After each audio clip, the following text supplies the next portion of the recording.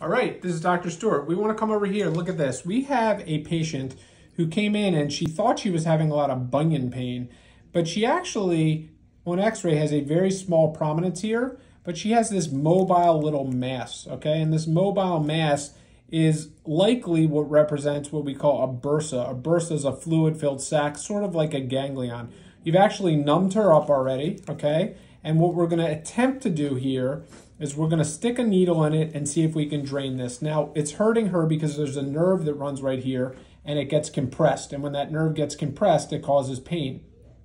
She's very clear that if this does not work, we can remove this. And we could remove it as a primary treatment, but it's probably worth one time trying to see if we can drain it and put a little cortisone in here to shrink it down so it doesn't bother her. If we do that and it works, then she'll avoid surgery.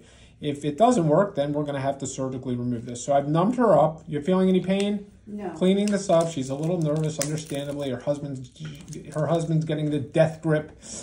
Uh, he's not feeling bad because I've already done bunion surgery on him and he's doing great. So let's do this. All right, we're going to feel a little pinch, maybe a little pressure. Okay, we're, we're pushing it. Okay.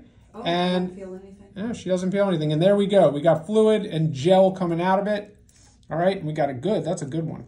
Okay, and we're pushing it, pushing it, pushing it, pushing it, pushing it. Sorry. Mm-hmm. Okay, and we got a little gel here. If we can see this viscous material, this is very consistent with a bursa.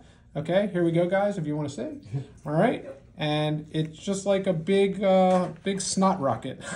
All right, so next we're going to just inject a little bit of cortisone into there. Okay, we drained it. We can actually see before we do this, see how flat it is. There's still a little, a little bit of a, a lining and the idea of the steroid is to hopefully shrink down that lining. So we're going to put a little bit of medicine in there, a little pinch, sorry, a little burning, okay?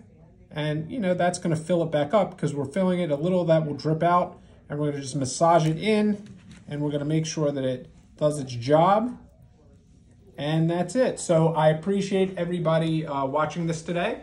We'll do a follow-up in a few weeks. You feeling okay? No Good. pain? Did you have any pain? No. She was completely numb for this. We were nice enough to give her a needle and make sure she didn't feel anything.